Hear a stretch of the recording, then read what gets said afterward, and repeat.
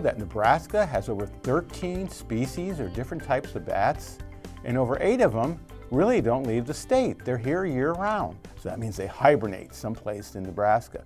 Lots of times that's in people's homes. Now, of our 13 bats, two or three are about the only ones people ever see and about the only ones that will really get into a home and cause any kind of nuisance problems.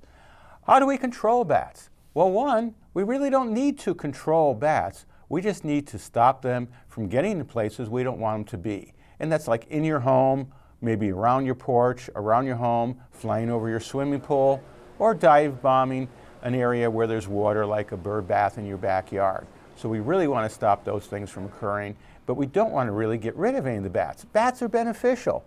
They eat tons of moths and wasps and other flying insects, and they even eat some mosquitoes. Now, why would they get into a home? Well, there's two reasons. In the summer, they hang around a home because there's food. The light emitted through your window brings in moths and attracts mosquitoes and other flying insects. You have a porch light.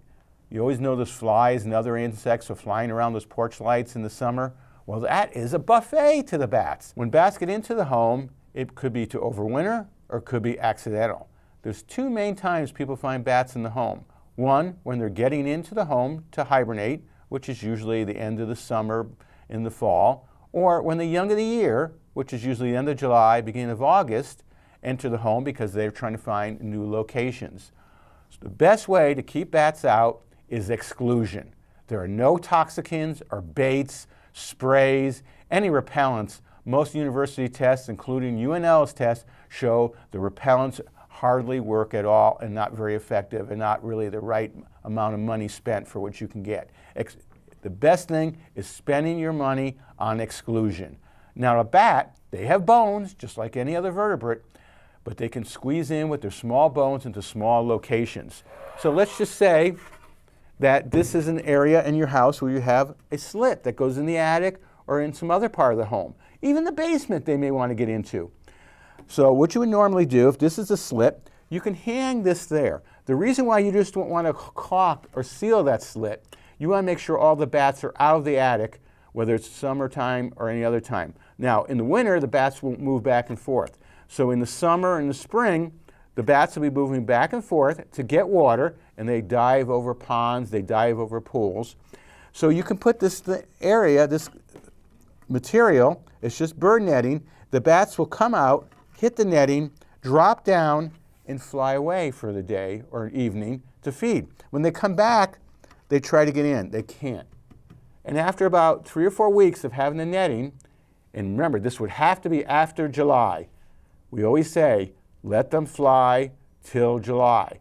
That way you won't trap any young in the attic. And this is going to be the big difference with these some bats being endangered or threatened in our state.